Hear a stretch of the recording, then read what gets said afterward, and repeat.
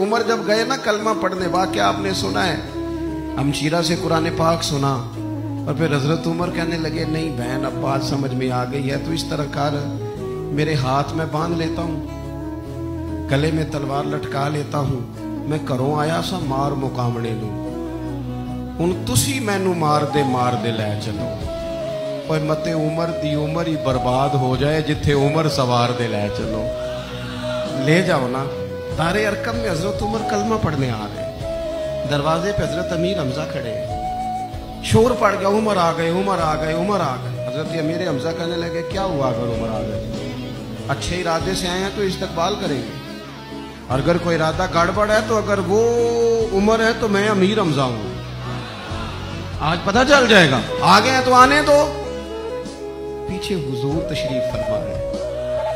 करीम बोल पड़े, फरमाया, हमजा, जरा जल्दी न कर। जल्दी न कर, क्यों भला?